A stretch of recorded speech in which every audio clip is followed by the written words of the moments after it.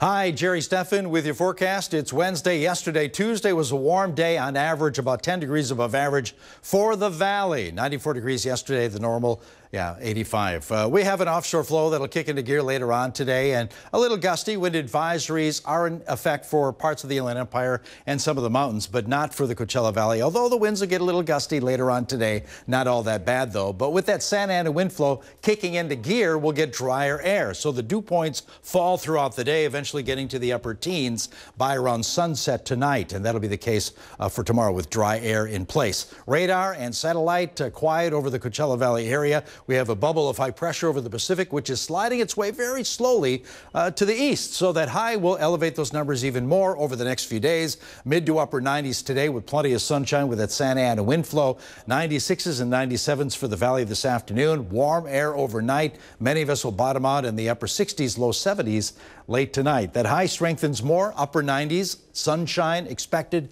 tomorrow afternoon. Again, Santa Ana winds with us. So 97s for many of us in the Coachella Valley. 88 degrees, 29 Palms, 90 for Cabazon.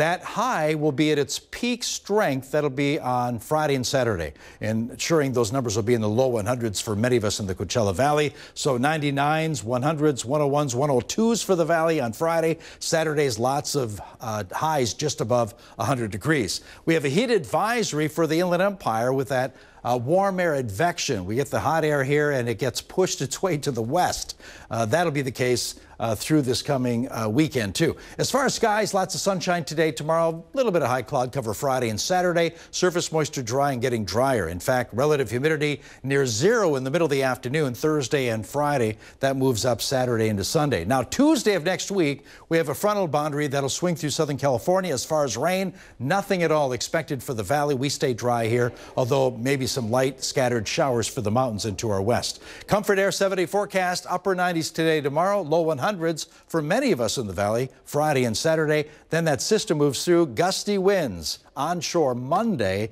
cooler air, rain to the west of us Tuesday.